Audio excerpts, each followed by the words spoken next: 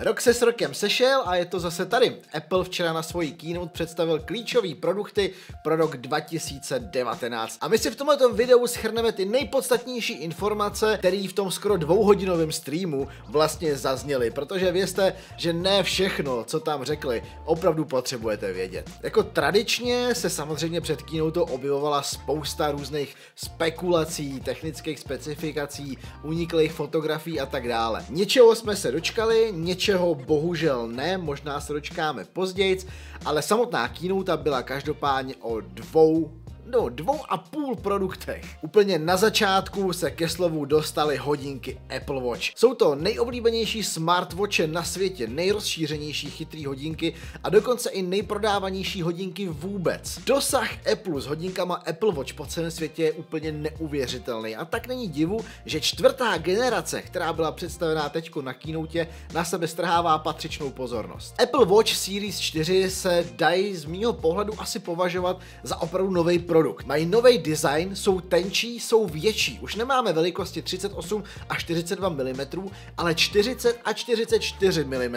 Kromě toho, že je větší samotný tělo, ačkoliv je teda tenčí, tak se hlavně taky zvětšil display. Displeje u nových Series 4 jsou o víc než 30% větší než u předchozích Series 3, což je docela znát a minimálně na videích a fotkách, které jsem viděl, tak ten rozdíl je opravdu markant. Společně s Apple Watch Series 4 se dočkáme taky nový verze Watch OS 5, která už v těchto těch dnech spoustě lidem běží v beta verzi. A asi největší novinkou této verze operačního systému, na kterou se těším, tak je konečně podpora hudebních služeb třetích stran. Pravděpodobně se v dohledné době dočkáme Spotify na Apple Watch a to se opravdu hodně těším. Strašně velký prostor ale u Series 4 dostalo zdraví, protože máme tady úplně novou technologii na měření srdečního tepu a dokonce ty hodinky dokážou měřit EKG. Tahle ta funkce tak je, já se chci vyhnout tomu slovu revoluční, ale je to opravdu dechberoucí, že něco takového dokážou integrovat do hodinek, do něčeho, co máte na sobě každý den. A na základě toho, že tahle ta funkce dokonce dostala veškerý potřebný certifikace jako zdravotní pomůcka, tak si myslím, že asi to opravdu bude fungovat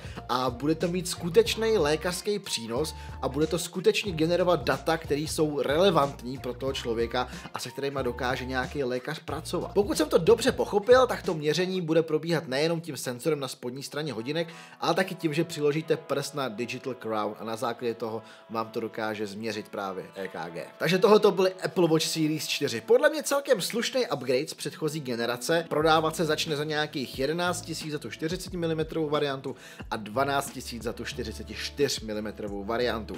Ale teď se jdeme vrhnout na iPhony. Tam se toho stalo taky celkem dost, i když ty novinky nejsou tak markantní, jak bych asi chtěl. Spekulací kolem nového iPhoneu kolovalo po internetu strašně moc a nakonec se ukázalo, že velká část z nich byla pravda. Opravdu jsme se dočkali iPhoneu 10s a jeho větší verze 10s Max.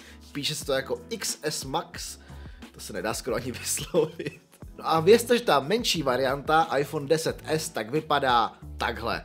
Vypadá úplně stejně jako iPhone 10, což je zkrátka očekávatelný, a na jednu stranu si myslím, že je to i dobře, přece jenom kompatibilita příslušenství všech pouzder, scale a tak podobně, to je vždycky výhoda. Vemte to tak, že na iPhone 8 můžete používat spoustu pouzder z iPhoneu 6 a to jsou 4 roky zpátky. Po designový stránce se nic nezměnilo a hlavní novinky jsou uvnitř. Máme tam novější chipset Apple A12 Bionic, nejrychlejší, nejfantastičtější procesor, ještě aby ne, je taky nejnovější, kdyby byl horší než loňský, to by bylo asi něco špatně. Apple taky dost zdůrazňoval fotoaparát. Máme tady zase 2x12 megapixelů s optickou stabilizací, jedna čočka je klasická, druhá má dvojnásobný optický zoom, tudíž na první pohled stejný jako u desítky. Ale hodně změn údajně nastalo, co se softwaru týče, takže například tam máme nový HDR, který by měl být inteligentnější a pracovat s umělou inteligencí, která je zahrnutá taky právě v tom novém čipu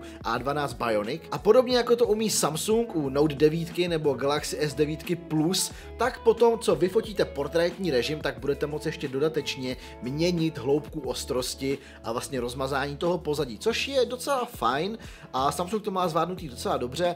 Jsem zvědavý, jak se s tím poradí vlastně Apple. Ale velikánská novinka, tak je iPhone 10s Max. Vnitřnost má tenhle ten telefon úplně stejný jako XS, ale velikánský rozdíl je na venek, že ten telefon je mnohem větší. Má 6,5 palcový display, samozřejmě taky s výřezem na horní straně, ve kterým je schovaný Face ID a vlastně True Depth kamera eh, na selfiečka a portrétní režim selfie. A ten velikánský 6,5 palcový display dělá strašně velký rozdíl. V porovnání s 8 Plus, tak ty telefony jsou prakticky stejně velký, ale je tam obrovitánský rozdíl, co se týče velikosti displeje. Prostě palec rozdíl je fakt obrovský. Naštěstí i s tím, jak se zvětšila úhlopříčka, tak se zvětšilo i rozlišení, takže pořád tady máme obrovitánskou jemnost toho displeje víc než 400 pixelů na palec. A vylepšení se dočkala taky baterie tady toho modelu, která by měla mít trošku větší kapacitu, takže i když máte větší displej, tak zase 10S Max by měl vydržet zhruba to samý, co 8 Plusko. A musím říct, že plusková řada od iPhoneu vždycky v té výdrži na baterku patřila k jedním z nejlepších telefonů na trhu, takže to jsme měli Apple Watch Series 4, iPhone 10s a iPhone 10s Max.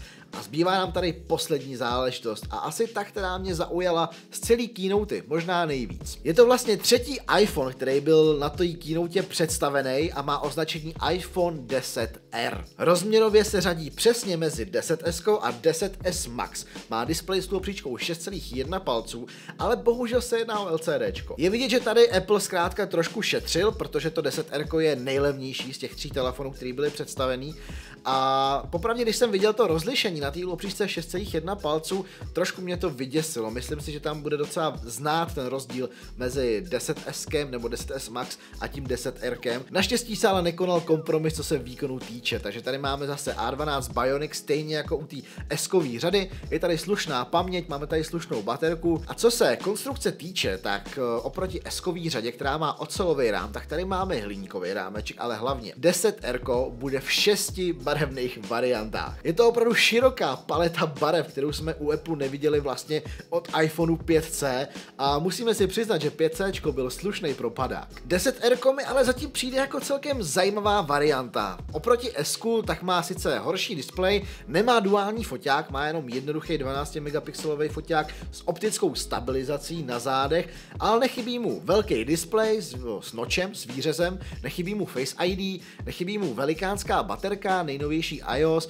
nejvýkonnější chipset. Zkrátka ten telefon nevypadá na první pohled vůbec špatně. A jak to máme s cenama nejnovějších iPhoneů? Ten nejlevnější z nich tak je iPhone 10R.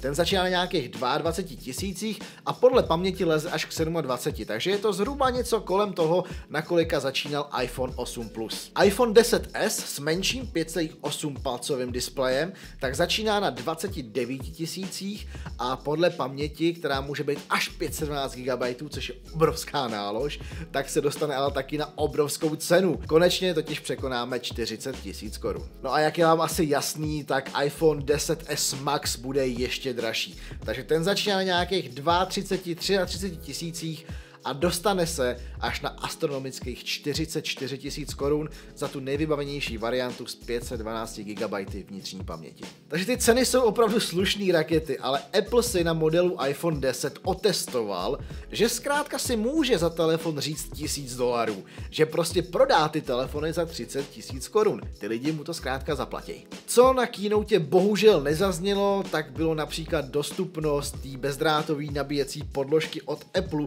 která měla být na trhu už před rokem a pořád si tedy dneska nemůžete najednou na jedné podložce nabít iPhone, Apple Watch a případně i sluchátka AirPods. Někteří lidé taky očekávali upgrade právě těch sluchátek AirPods, to taky bohužel nepřišlo a mluvilo se taky o nových iPadech s tenčíma rámečkama, ale na ty se taky nedostalo. Takže tohle všechno je nejspíš ještě hudba budoucnosti. Takže tohle bylo shrnutí včerejší keynote od Apple, na který jsme se dočkali nových hodinek, nových iPhoneů a na něco se bohužel ani nedostalo, ale napište mi do komentářů, co se vám třeba líbilo nejvíc, který z těch produktů vás nejvíc oslovil, jestli se vám třeba vůbec líbí ten směr, kterým Apple teď jde a co říkáte na to, že ty telefony se cenovkou dostanou až na 44 tisíc. Pro dnešek vám moc díky za pozornost, nezapomeňte odebírat tenhle ten kanál na tlačítku tady dole, abyste nepřišli o žádný nový videa. Další super videa najdete potom taky tady a tady, běžte se tam taky podívat a já se těším na viděnou zase někdy příště. Tak ahoj.